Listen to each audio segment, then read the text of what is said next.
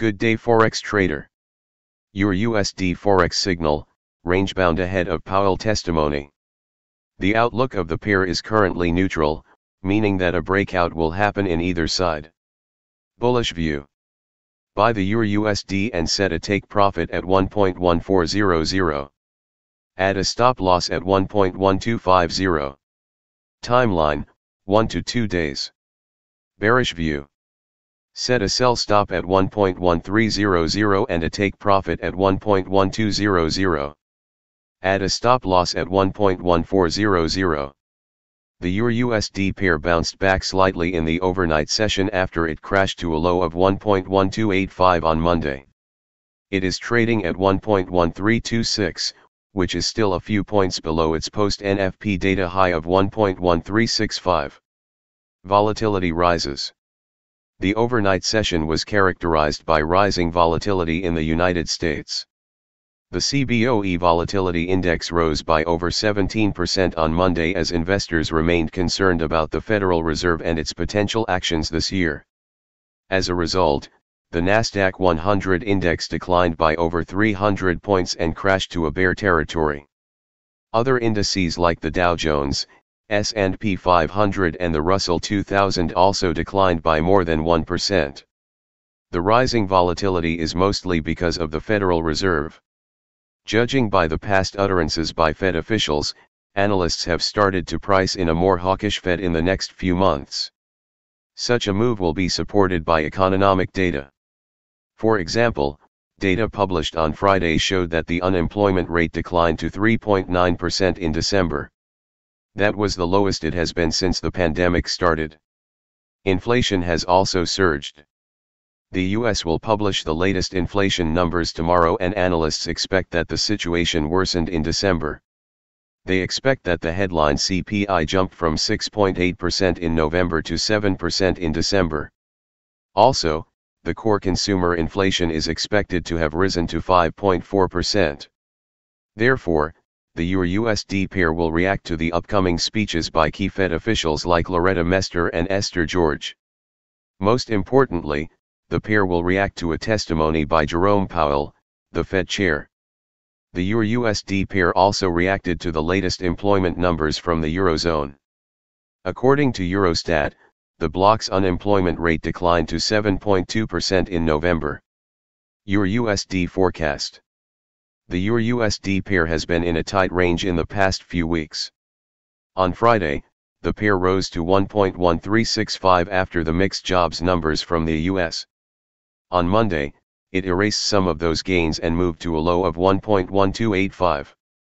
It is between the horizontal channel shown in black. Also, the pair is trading at the same level as the 25-day and 50-day moving averages while the MACD has moved slightly above the neutral level. Therefore, the outlook of the pair is currently neutral, meaning that a breakout will happen in either side. The key support and resistance levels to watch will be at 1.1280 and 1.1360, respectively. GBP USD Forex signal, more upside amid Fed and BO convergence. The next key reference level to watch will be at 1.3620. Bullish view. Buy the GBP USD and set a take profit at 1.3620. Add a stop loss at 1.3540.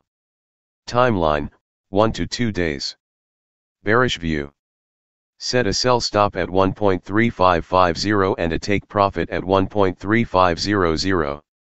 Add a stop loss at 1.3620. The GBP USD pair held steady as focus remained on the rising American and UK bond yields. The pair rose to a high of 1.3565, which was higher than Monday's low of 1.3535. Bond yields jump. American and British bond yields have been in a bullish trend in the past few weeks as investors anticipate more tightening by the Fed and Bank of England. In the UK, the 10-year gilt jumped to 1.1915%, which was its highest level since late 2018. This rally happened as investors predicted that the Bank of England, BO, will continue with its tightening policies after it hiked rates by 0.25% in December. Meanwhile, in the US, the 10-year bond yield rose to 1.79%, which was the highest level since 2019. The bond sell-off also continued in the 30-year market, whose yield rose to 2.13%. Analysts expect that the Federal Reserve will take a combative role this year in its bid to lower inflation. That will involve ending its quantitative easing policy in March or earlier and then immediately hiking interest rates. Conditions look good for the Fed to take these actions. For example, data published on Friday revealed that the unemployment rate has collapsed to the lowest level since the pandemic started. Subsequently, wages have also jumped sharply in the past few months as the labor market tightens. As part of its dual mandate, the bank is also watching the inflation figures. On Wednesday, the U.S. Statistics Agency will publish the latest inflation reading. Economists expect the data to show that the headline Consumer Price Index, CPI, rose to 7% while core CPI rose to 5.4%. These will be the biggest numbers in decades. Later on Tuesday, Jerome Powell will provide more pointers about what the Fed will do in the upcoming meetings. GBP USD forecast. The three-hour chart shows that the GBP USD pair has been in a bullish trend in the past few weeks. Along the way, the pair has remained above the 25-day and 50-day moving averages. It has also moved above the Ichimoku cloud while the moving average convergence divergence, MACD, has moved above the neutral line. Therefore, the pair will likely keep rising as investors price in a convergence between the Fed and the Bank of England. The next key reference level to watch will be at 1.3620. AUD USD Forex signal, more bearish below 0.7200. Today's AUD USD signals. Risk 0.75%. Trades may only be taken prior to 5 p.m. Tokyo time Wednesday. Short trade ideas. Go short following a bearish price action reversal on the H1 time frame immediately upon the next touch of 0.7223 or 0.7302. Put the stop loss 1 pip above the local swing high. Adjust the stop loss to break even once the trade is 20 pips in profit. Take off 50% of the position as profit when the price reaches 20 pips in profit and leave the remainder of the position to run. Long trade ideas.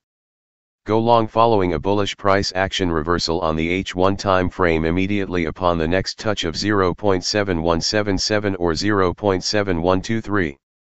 Put the stop loss 1 pip below the local swing low. Adjust the stop loss to break even once the trade is 20 pips in profit. Take off 50% of the position as profit when the price reaches 20 pips in profit and leave the remainder of the position to run.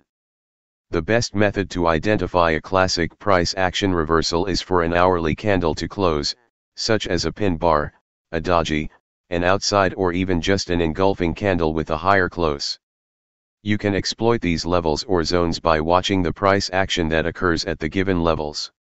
AUD USD analysis I wrote yesterday that I had little faith in 0.7189 as a support level.